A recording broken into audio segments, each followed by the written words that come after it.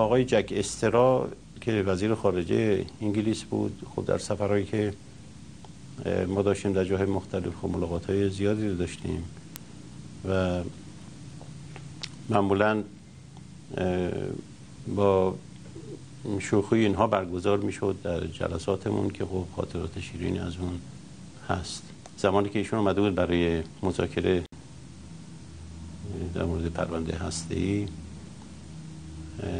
در سعدآباد بودیم ما. بله.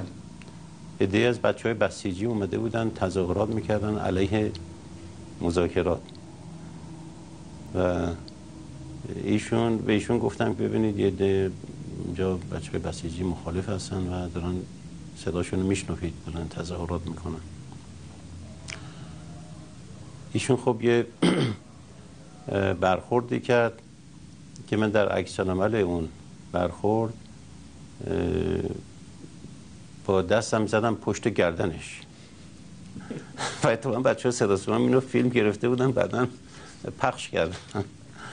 این اول خیلی سرخ شد.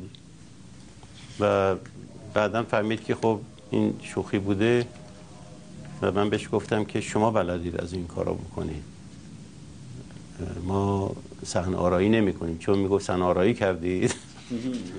آره گفتم که شما بلدید از این کارا بکنید. و خب هم با کلام و هم با عمل در واقع من بهش تفهیم کردم که سنارایی نبوده. و نباید چنین برداشتی رو داشته باشه